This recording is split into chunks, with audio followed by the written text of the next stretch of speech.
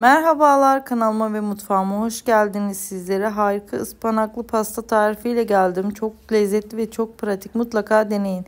Geçelim tarife. 3 adet yumurta, 1 su bardağı toz şeker ve bunları iyice çırpıyoruz. Hamur yoğurma makinemizle iyice çırpıyoruz. Köpük köpük olana kadar, beyazlaşana kadar çırpıyoruz arkadaşlar.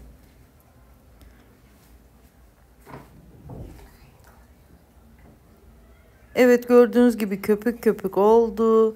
Ve üzerine yarım çay bardağı sıvı yağ, bir çay bardağı süt ve bunları biraz daha çırpıyoruz. Daha sonra bir paket vanilya, bir paket kabartma tozu,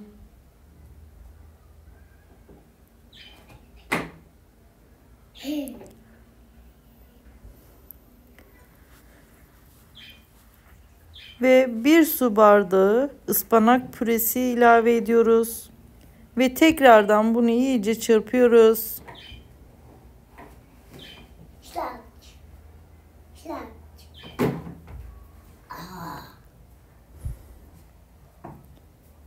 Ve üzerine 2 su bardağı unumuzu ilave ediyoruz.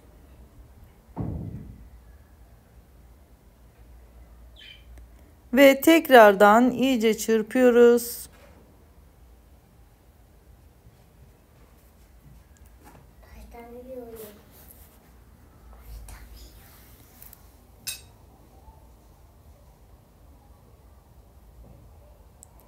Ve gördüğünüz gibi hamurumuz muhteşem oldu.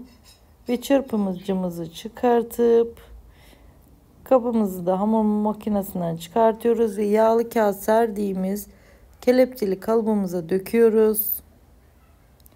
Ve 160 derecede pişiriyoruz.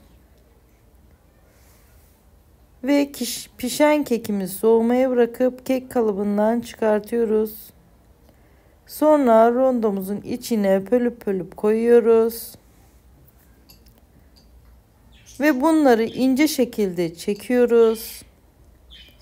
Bu sırada muhallebimizi yapıyoruz. 3,5 su bardağı süt, 1 su 1 çay bardağı şeker, 1 çay bardağı unumuzu ilave ediyoruz. Topaklanmaması için iyice karıştırıyoruz ve ocağımıza alıyoruz.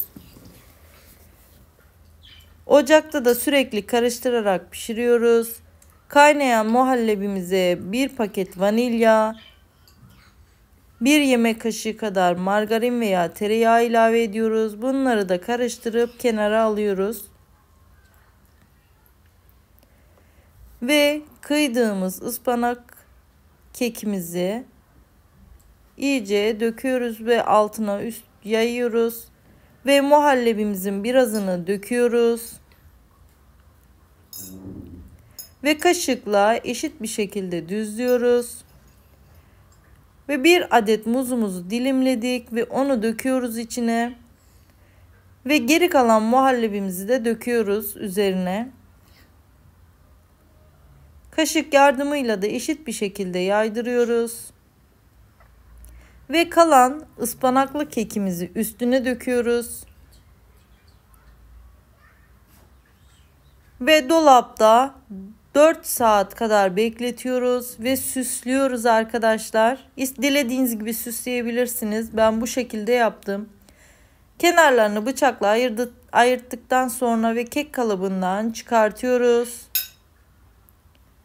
Gördüğünüz gibi muhteşem oldu. Sayfama destek vermeyi unutmayalım arkadaşlar. Abone olup yorum yapıp beğeni yapmayı da unutmayalım. Desteklerinizi bekliyorum. Harika oldu. Mutlaka denemenizi tavsiye ediyorum. Harika bir tarif. Denemeye geç kalmayın arkadaşlar. Deneyince bana hak vereceksiniz. Çok güzel bir pasta oldu. Mutlaka denemelisiniz. Beni dinlediğiniz için, izlediğiniz için hepinize teşekkür ediyorum.